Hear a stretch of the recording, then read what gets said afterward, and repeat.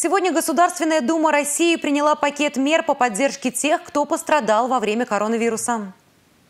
Увеличивается единый размер пособия по уходу за ребенком для неработающих граждан. Арендаторы из наиболее пострадавших отраслей экономики смогут до 1 октября в одностороннем порядке отказаться от договора аренды и не возмещать убытки в виде упущенной выгоды. Самозанятые граждане получат налоговый капитал в размере 12 130 рублей, которые можно будет использовать как для уплаты новых налогов, так и для погашения задолженности по ним. Пакет предполагает также поддержку малого и среднего бизнеса, развитие телемедицины, увеличение увеличении производства антисептиков. Правительство надеется правом менять условия и особенности итоговой аттестации школьников и приема в вузы.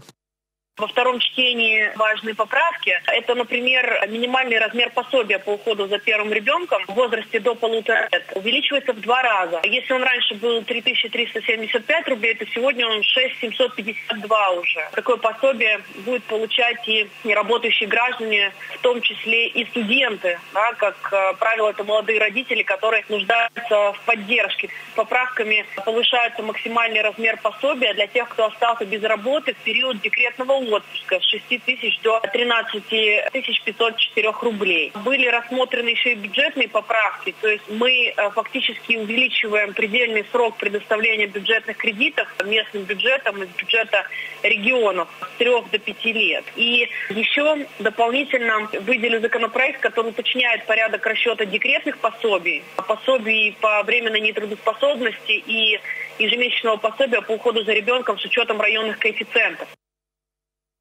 Сейчас необходимо уменьшить налоговую нагрузку на малый и средний бизнес, социально ориентированные некоммерческие организации, наиболее пострадавшие в связи с распространением коронавирусной инфекции. Речь идет об освобождении от платы налогов и страховых взносов, начисленных во втором квартале 2020 года. Кроме того, инициированные президентом стимулирующие выплаты работникам социальных учреждений за период с 15 апреля по 15 июня также планируется освободить от НДФЛ